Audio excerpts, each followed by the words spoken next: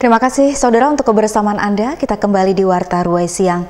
Saudara, Komisi Pemilihan Umum Kabupaten Sanggau mengajak semua insan pers untuk bertugas di Kabupaten Sanggau ini bersinergi untuk menangkal berita bohong menjelang pemilu dan pemilihan serentak tahun 2024 Sabtu 10 Desember 2022. Ajakan itu disampaikan oleh Sekretaris KPU Kabupaten Sanggau Andi Hasanuddin saat sosialisasi tahapan pemilu bersama sejumlah wartawan yang bertugas di Kabupaten Sanggau.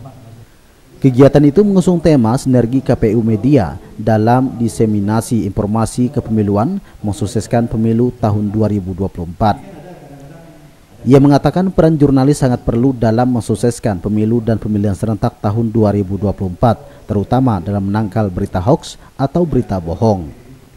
Karena itu, Sekretaris KPU Kabupaten Sanggau, Andi Hasanuddin, mengajak semua wartawan di Sanggau, baik itu media elektronik, cetak maupun online, agar tidak menulis berita hoax karena berpotensi terjadinya perselisihan di tengah masyarakat.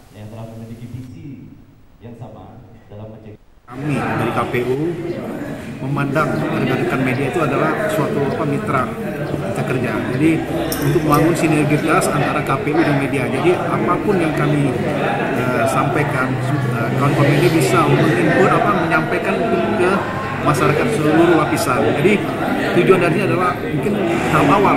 Ke depannya mungkin kita bisa membangun lagi supaya uh, ke depannya mit, apa kerjasama antara KPU dengan media ini bisa lebih lebih erat. Andi Hasanuddin menambahkan selama ini peran wartawan di Sanggau dalam menyebarluaskan informasi tentang tahapan pemilu kepada masyarakat dinilai sudah cukup baik.